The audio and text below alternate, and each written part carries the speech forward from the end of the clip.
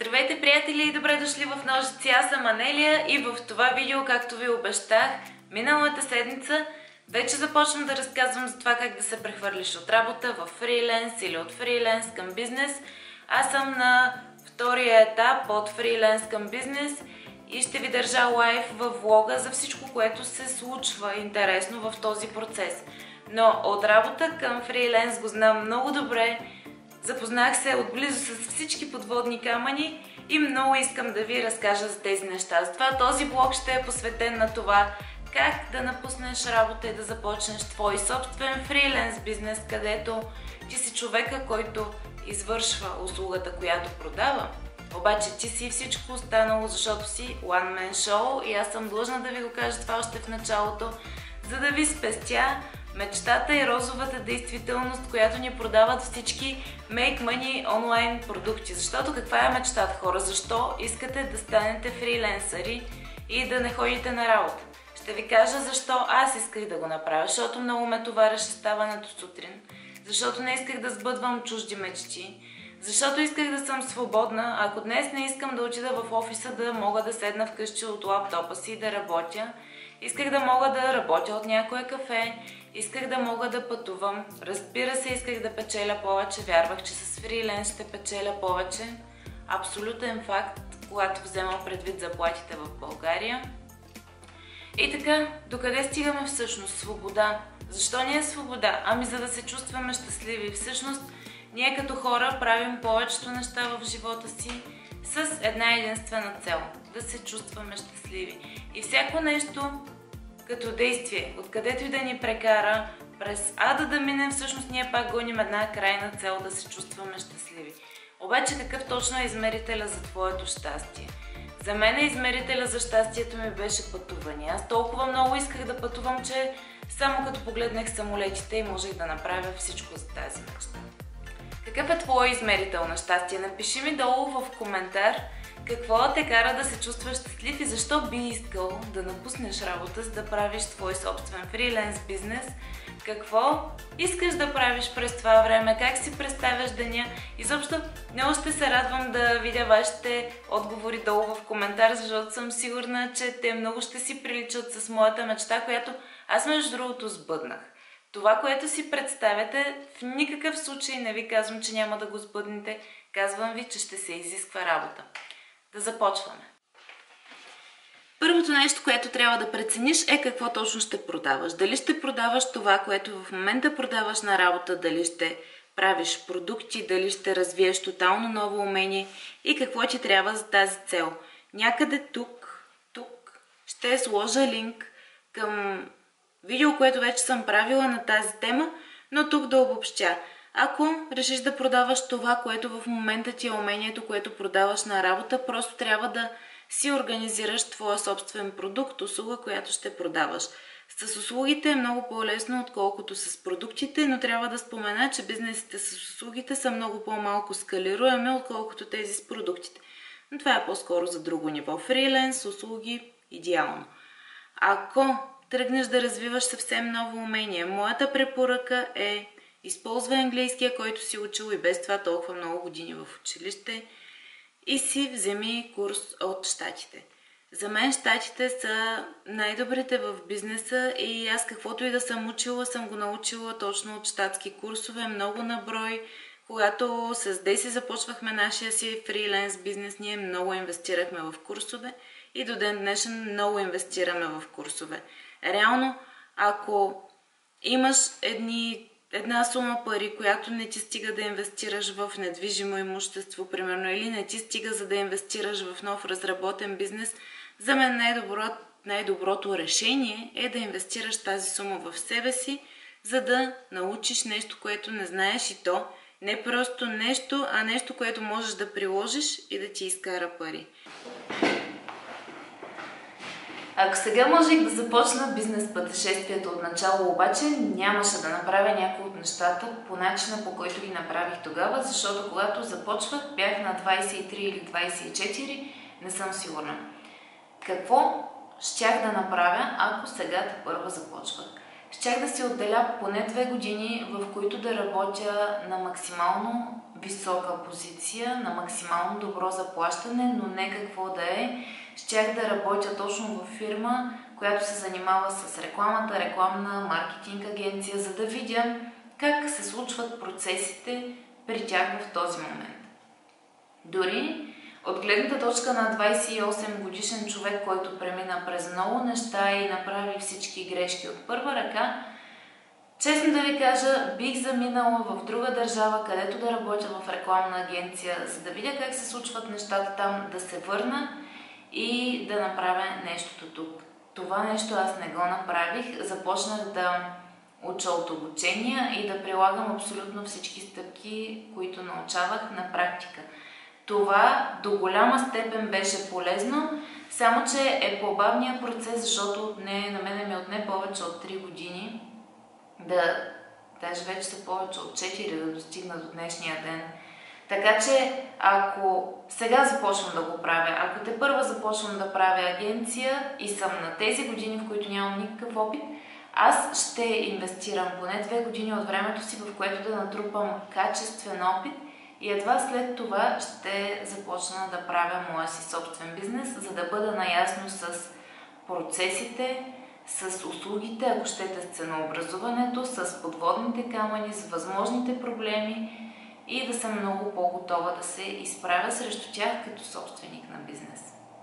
Какво още бих направила по-различно? Щях да си намеря няколко клиенти, с които да работя извън работно време. Всъщност това е нещо много ценно. Повечето хора, които искат да започнат собствен бизнес, си мислят, че абсолютно веднага трябва да предприемат действието да напуснат работа. Не дейте да го правите хора. Много по-спокойни ще се чувствате, когато имате финансовата сигурност от заплатата си и освен това започнете да тренирате вашите умения, духа вятър и вашите услуги в свободното си време. Следващото нещо. Готови ли сте да дадете работа на друг човек? Готови ли сте да, да се доверите на още някой?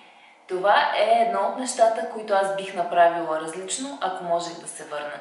Щях да остана на работа, да се тренирам в това да привличам клиенти, да работя по проекти извън работно време, но когато проектите ми станат повече от времето, с което разполагам, щях да аутсорсна към друг колега специалист – на който имам доверие и с който бихме могли да работим заедно. Тоест, аз щях да започна да се уча и на това да разпределям задачи и всъщност да печеля на база ресурса време и ресурса знания на другите хора, като осигуря работа за моя колега и аз взема марш от това, което правим заедно. По този начин, когато ми се изравнят доходите от работа и от заплата с доходите, които получавам като фриленсър, аз ще да взема решението да напусна работа, но да бъда финансово сигурна в този момент, че няма да спестявам от дрехи, излизания, вечери, срещи с приятели, пътувания, а напротив ще имам достатъчно от това, но вече с една много по-стабилна основа ще започна да развивам собствения си бизнес. Имах огромното желание да запиша края на а, този влог на това видео по пътя към вкъщи, за да има динамика и за да е различно, обаче вънка се стъмни, така че няма никаква опция това да стане. Но преди да сте си тръгнали, искам да ви кажа последното нещо, последните две неща, които са изключително важни и според мен те ще направят голямата разлика, ако сега те първа започвате да се занимавате с фриленс бизнес. Има един съвет, който аз бих дала на предишното си аз, ако то можеше да започне от начало и то е винаги да се избира клиентите. Когато ти не си се постарал да си осигуриш достатъчно финансова сигурност, за да може да работиш само с хората, които харесваш наистина и са проекти, в които виждаш смисъл, на тебе ти се налага да работиш за всички клиенти, които дойдат при тебе и кажат да на офертата. Това, приятели мои, никога не е добра стратегия.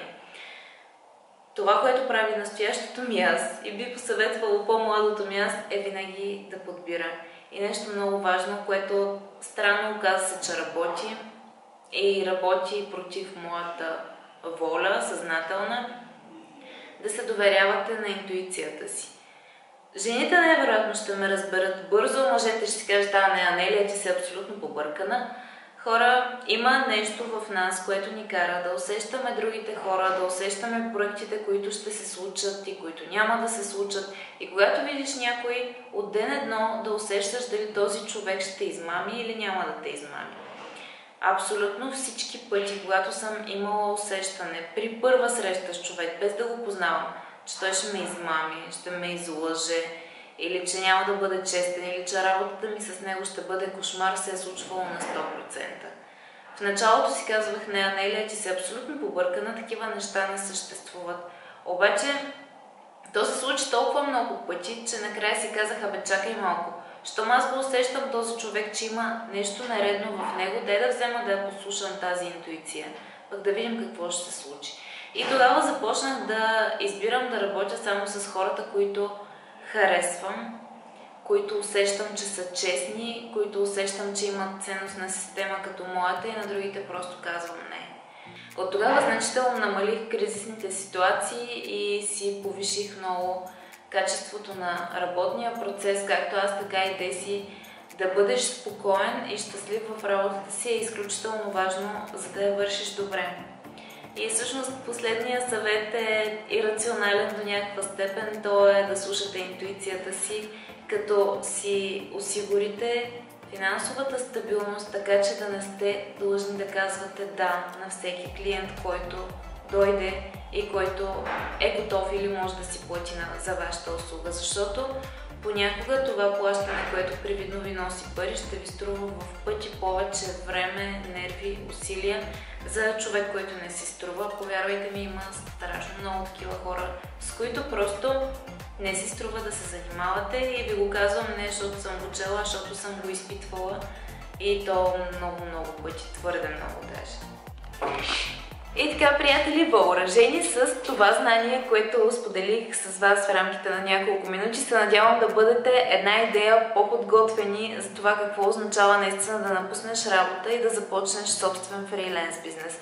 Надявам се моят опит, който споделих да ви бъде наистина полезен. В следващите видеа ще споделя и доста по- практически насочена информация за това какви са стъпките, но да си настроиш съзнанието правилно, преди да започнеш да правиш каквото и да било, е според мен най-същественото нещо. По този начин нямаш нереалистични очаквания, напълно подготвен си за това, което може да се случи и действаш стратегически, а не първосигнално, инстинктивно. И така, ако това видео ви е харесало, дайте му палец нагоре. Не забравяйте да се абонирате за канала, защото той ще ви бъде изключително полезен. Напълно сигурен съм в това. И ще направя и всичко възможно, за да ви забавлявам от време на време, макар че не съм най-забавният човек ever, който можете да видите в YouTube. И така стига толкова за днес, време аз да си ходя в къщи, стига съм работила. Ето ми ги моите процеси, които правя вече толкова време знам дали ще се виждат, вече ги прехвърлям и в драйва. Нещата в нашия бизнес от фриленс към реален бизнес вървят добре. Поставяме една много стабилна основа, затова можете да гледате в влоговете и така, чао от мен и до скоро!